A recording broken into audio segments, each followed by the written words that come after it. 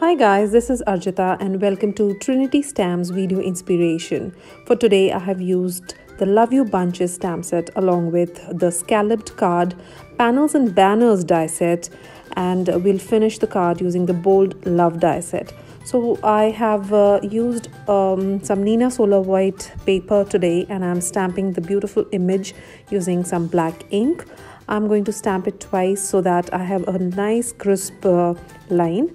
I have used the Gina K Amalgam ink because it is perfect when you want to work with the Copic markers and uh, that is what uh, is the medium of coloring today.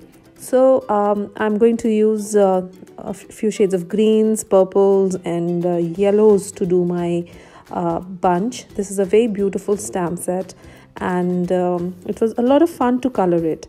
So uh, this is very simple coloring which I have done here I have used mostly uh, two to three shades of every color and uh, I'm blending them with each other.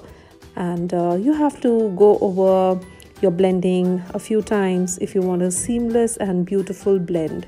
So uh, it was all about the coloring in this card. And if you enjoy that um, I'll stop speaking here. You can watch how I color these portions. And once that's done uh, I will use the love die and uh, finish this card.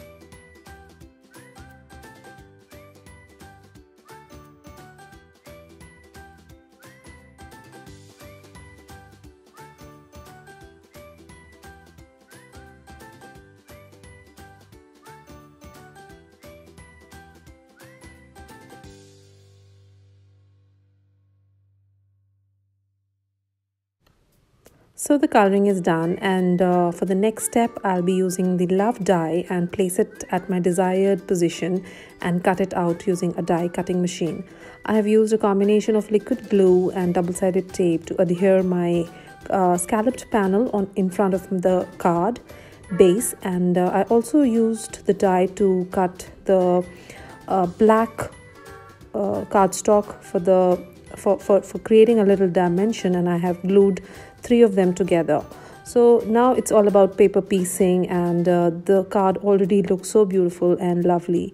So I'm going to uh, add these letters, these alphabets at the right position. To add a little sparkle and jazz to my card, I used some uh, golden mirror paper and I used the same die to cut it again. So this die cuts the outline as well as the main bold letters beautifully and I have combined both of them. So I'm using the outline uh, in gold. I'm placing it right there with uh, my glue and then I'll stick the inside or the bold alphabets.